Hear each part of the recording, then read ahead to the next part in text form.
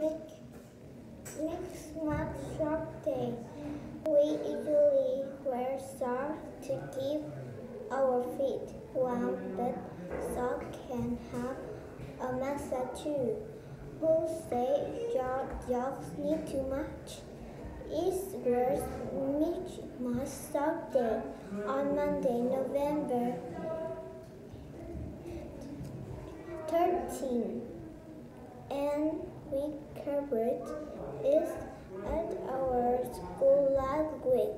We meet on the playground at 8.45 before school starts. Everyone wore different shocks in each foot.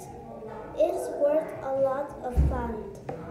But why did we do it well? Oh wait, we talked about bullying. Bullying. At school, a bully is a people who hurt or frighten other people.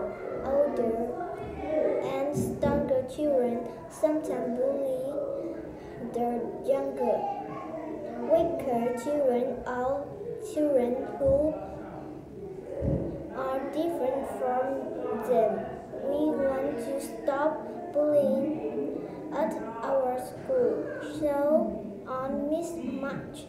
Sock Day, we wear different socks to show people that it's good to be different and that all children are important. Everyone needs